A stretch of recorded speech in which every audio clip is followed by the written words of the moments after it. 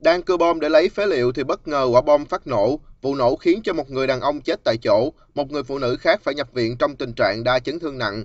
Tối 28 tháng 5, bác sĩ Phạm Xuân Hiển, khoa gây mê hồi sức bệnh viện Chợ Rẫy cho biết đang điều trị tích cực cho bệnh nhân Nguyễn Thị Châu Phú, sinh 1988, ngụ Tiền Giang. Bệnh nhân được chuyển đến bệnh viện Chợ Rẫy trong tình trạng đa vết thương hỏa khí ở đầu, mặt và có vết thương phức tạp ở tay phải.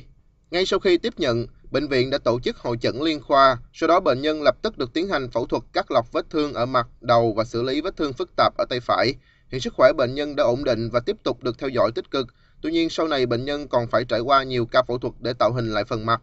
Người nhà bệnh nhân cho biết gần đây gia đình chị Phú có cho một người đàn ông tên Lê Văn Minh, sinh 1963, quê Bình Dương ở nhờ để cùng đi ra sắt thép. Sáng cùng ngày khoảng 7 giờ 30 phút khi ông Minh đang cưa bom để lấy phế liệu thì bất ngờ quả bom phát nổ. Vụ nổ khiến ông Minh chết tại chỗ, còn chị Phú đang nấu ăn gần đó cũng bị thương nặng.